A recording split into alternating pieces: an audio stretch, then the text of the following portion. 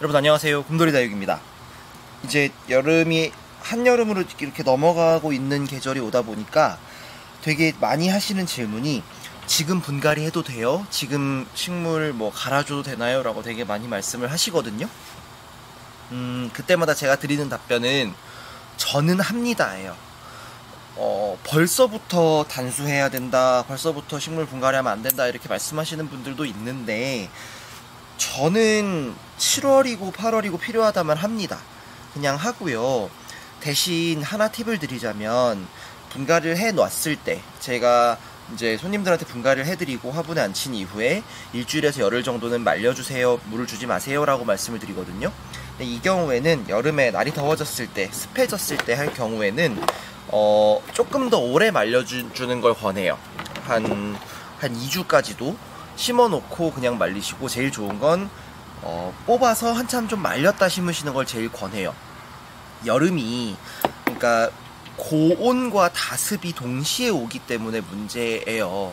아직까지는 그렇게 습한 날씨는 아니잖아요. 물론 평소보다 조금 이르게 습도가 올라가긴 했습니다만 아직은 아주 습하지는 않거든요. 사실은 그냥 온도가 건조한데 온도가 올라가는 것도 크게 나쁘지 않고요. 어, 온도가 아주 올라가지 않는데 습도가 유지되는 것도 그렇게 나쁘지 않거든요.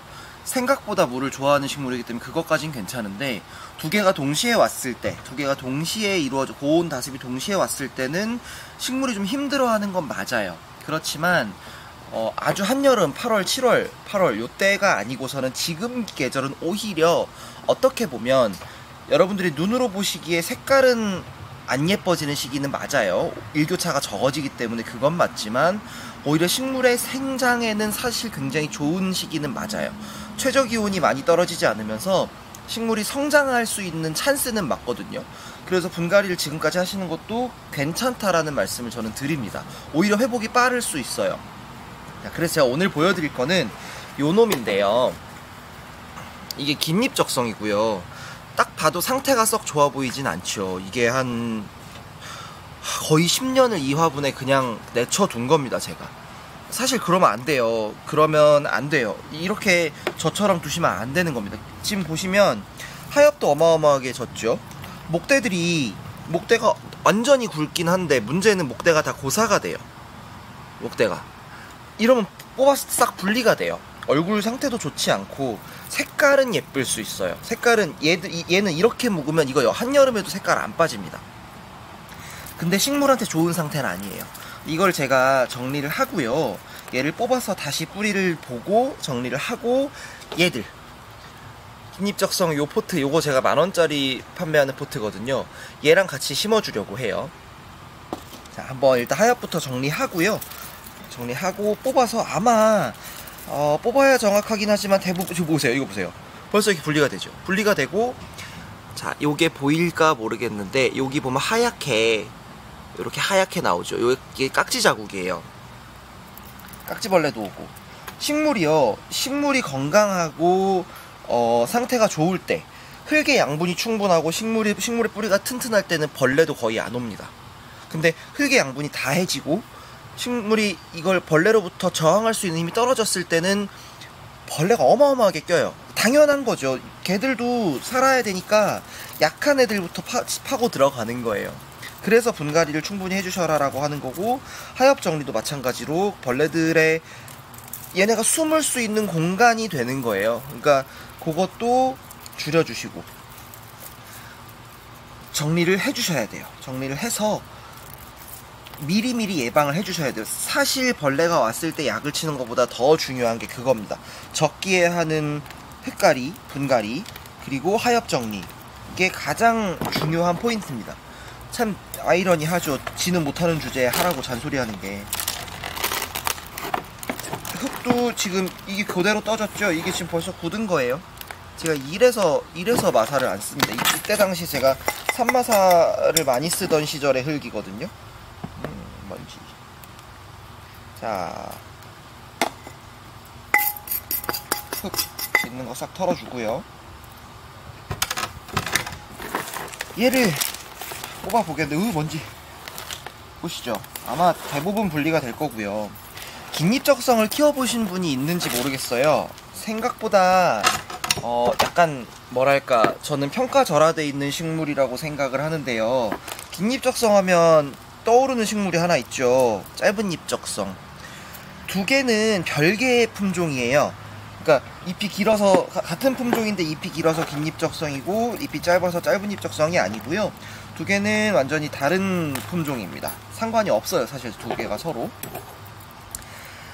어, 그런데 제가 제가 농장을 하지만 아예 취급하지 않는 품종이 몇 가지가 있거든요. 그러니까 식물 어, 제 저희 오신 손님이 어제 송파에서 오신 오후에 오신 손님이 계셨는데 그분이 무슨 얘기를 하시다가 하, 나는 이거는 자꾸 실패해요라는 식물이 있었어요. 뭔지 제가 기억이 안 나네요.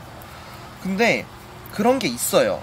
이 나도 모르는 새에 나도 모르는 어떤 나의 환경과 나도 모르는 나의 어떤 그 습관 식물을 키우는 관리하는 습관과 맞지 않는 식물들이 품종들이 분명히 있습니다.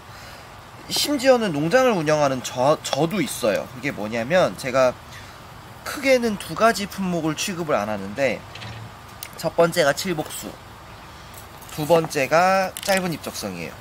짧은 입적성이 워낙 색깔이 예쁘게 들기 때문에 사실 찾는 분들은 많아요. 특히 어, 오히려 초보분들이 워낙 예쁘게 생겼기 때문에 어 이거 나 이거 키워보고 싶어요 찾는 분들이 많은데 저는 음, 권하지도 않고 제가 갖다 놓지도 않아요. 제가 번식도 안 해요. 아 너무 어려워요. 짧은 입적성은 솔직히 제가 관리를 하려면 어떻게 해야 되냐면 그것만 따로 두고 그것만 거의 어, 계속해서 약으로 관리를 해줘야 가능한 품종이라고 저는 봐요. 이게 우리나라 기후에 잘 안 맞는 식물인 건지 아니면 제가 관리를 뭔가 어느 포인트에서 못하는 건지는 잘 모르겠습니다만 어 저는 안 해요. 대신 제가 그 대체제로 보는 게 이 긴잎적성인데요. 긴잎적성이 오래 묵으면요 진짜 짧은 잎적성보다 더 예뻐요. 그리고 얘는 진짜 강해요. 진짜 강해요. 아 보시면 아시겠잖아요 이거 제가 분갈이도 제대로 안 해주고 이렇게 키웠는데도 끈질기게 살아있잖아요 물론 상태가 좋은 건 아니지만 다 분리돼요 다 분리돼요 아주 아주 불쌍합니다 보시면 이렇게 볼까요 뿌리 상태가 썩 좋진 못해도 그래도 여전히 실뿌리가 돌고는 있어요 그래도 조금씩 그러, 그렇기 때문에 얘가 살아있는 거예요 만약에 이게 다 이거 뭐냐면 원래 몸통에서 분리가 됐고요. 분리가 되면서 이쪽에서 새 뿌리들이 난 거예요. 살기 위해서. 참 지독하죠. 딱하고 지독하고. 요거는 제가 다시 심어줄 겁니다. 어, 줄기, 뭐, 물관 살아있는 줄기들은 굳이 자르지 않을게요. 굳이 자르지 않고, 이렇게 분리되는 애에서 요 끝에 부분, 여기만 이렇게 잘라내주면 괜찮네요, 상태. 어, 아유, 불쌍해요. 아무튼. 이렇게 해서 저 어리고 건강한 것들과 함께 다시 심어주도록 할게요. 그러니까 여러분들이 관리를 잘 하셨다면, 어, 이렇게 되기 전에 얼굴이 그냥 작아졌을 때 그 전에 새로 보충을 해서 심으시는 것도 맞는 방법인 거예요. 그러니까 화분을 자꾸 큰 데로 옮기는 게 아니고 물어보세요. 이거 이거 그러면 나중에 화분 큰 데로 옮겨줘야 되잖아요. 그게 아니고 오히려 작은 데로 가야 될 가능성도 높습니다. 자, 얘들과 지금 분리가 많이 됐어요. 자, 그럼 얘들도 파볼게요. 같이 심어야 되니까요.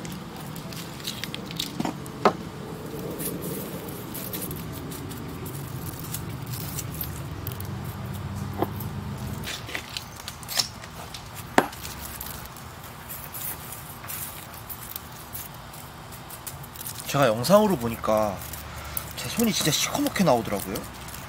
제 까만 편이긴 한데 그 정도로 시커멓진 않은데 너무 너무 약간 까맣게 나와서 조금 부담스럽긴 하던데.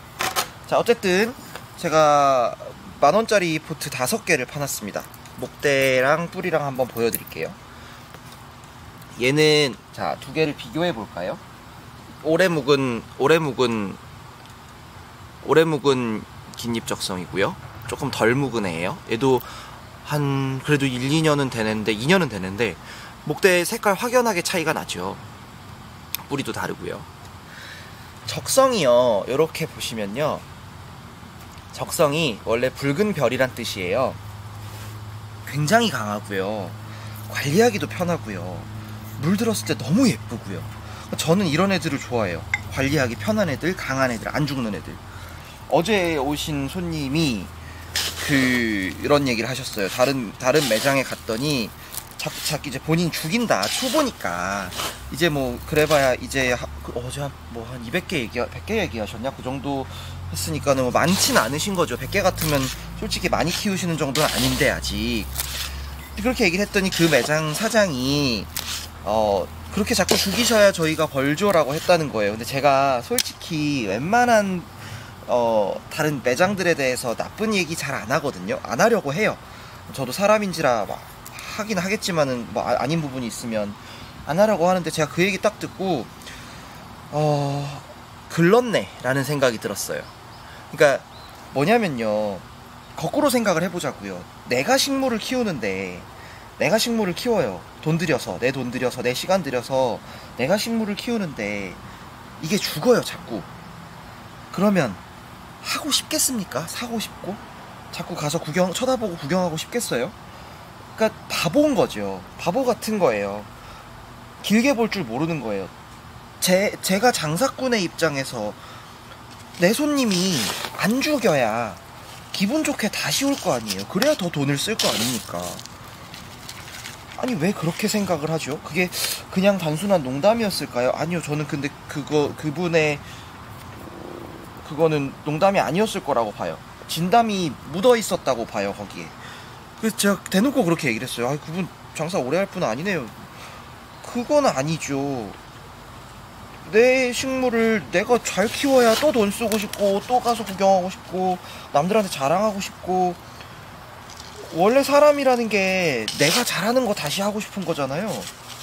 그런데 왜 그렇게 생각을 하시는지 참 저라면 제가 자꾸 죽이면 저는 안 사요. 그래서 저는 손님들한테도 그러니까 이렇게 물어보세요. 오시면 식물 고르시다가 이게 좋아요, 저게 좋아요 물어보시는데 제가 드릴 수 있는 말씀은 저는 어차피 선별해서 내놨으니 저는 제가 가진 수십 개, 수백 개 중에 선별해서 내놓았으니 이 중에서 마음에 드는 수영을 고르시면 되고 만약에 식물 상태가 정 아니다 싶으면 어차피 제가 빼드립니다. 왜냐면 그거 팔아봐야 이득이 없어요 저한테. 당장에 몇천 원, 몇만 원 벌을 수는 있겠지만 저는 거기서 제가 거기서 그러고 내일 모레 장사 접을 게 아니잖아요. 그렇게 생각하면 안 되는데 그게 참 그런 마인드를 가진 분들이 아 이러, 이거 팔면 돼 라는 마인드를 가진 분들이 너무 많아요 식물 장사 생물 장사라는 게 그게 아니거든요 그게 아닌데 잘못 생각을 하시는 것 같아요 그런 마인드를 가진 분들이 참 많다는 게 동종업계 사람으로서 좀 서글픕니다 그거는 안 그러셨으면 좋겠어요. 자, 말씀드리면서 제가 요렇게 섞어 심었거든요. 당장은 얼굴 크기 차이가 좀 나죠. 당장은 요 묵은 애들 올라온 애들이랑 땅에 붙은 애들이랑 얼굴 크기 차이가 좀 나지만 요렇게 해서 요렇게 해서 새뿌리를 싹 받고 그러고 나서 이제 성장을 새로 시키면 또 다를 거예요. 또, 또 다른 멋진 모습이 나올 거예요. 이게 좋은 게요. 어, 꽃꽂이보다 얘네를 모아 심는 게 훨씬 더 좋은 이유가 뭐냐면 변화되는 모습을 볼 수 있잖아요. 그러니까 꽃꽂이 절하는 당장에 훨씬 화려하고 당장에 훨씬 예쁘긴 하지만 어, 그 모습에서 더 못생겨질 일만 남았다면 얘들은 생물을 화분에 심어주는 건 그게 다육식물이든 야생화든 그 변화가 참 좋은 것 같아요. 그 변화가 너무 좋은 것 같아요. 그거 보기 위해서 우리가 이 땡볕 아래에서 땀 흘려가면서 누가 시키지도 않았는데 식물 관리하는 거 아니겠습니까? 누가 시켜서 하면 돈 주고 하라면 그거 하겠어요? 못하죠. 안 좋으면. 자, 틈틈이 마사 올려서 복토 해줬고요. 화장 해줬고요. 이 상태로 제가 굳힐 겁니다. 이 상태로 제가 굳힐 거예요. 너무 예쁘지 않나요? 지금도 예쁜데요. 가을 돼서 물들면 진짜 예쁩니다.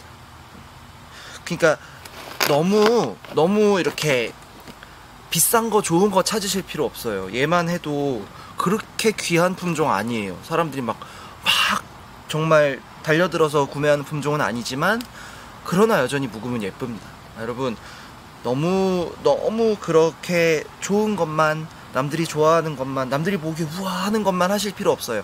내 식물 내가 잘 관리하시면 됩니다.